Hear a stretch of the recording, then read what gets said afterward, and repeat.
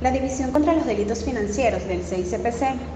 detuvo a Edwilian del Jesús Caldera Romero, de 33 años, quien mediante habilidad y destreza logró estafar a la empresa Motorrepuestos Parra Empire, ubicada en la avenida O'Higgins de Caracas. El detenido solicitó a la empresa una cuenta bancaria de Bank of America con la intención de comprar 12 motos marca Empire de diferente cilindraje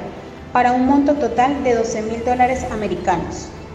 Por tal motivo, las víctimas le hacen entrega de la cuenta donde Edwillian realizó el supuesto pago y la misma procede a validar el pago y le hacen entrega de las motos. Al transcurrir dos días, la víctima se percató que los fondos no se encontraban disponibles en la cuenta. Los sabuesos continúan con las investigaciones y pudieron comprobar que el detenido habría depositado un cheque desprovisto de fondos, sabiendo el cual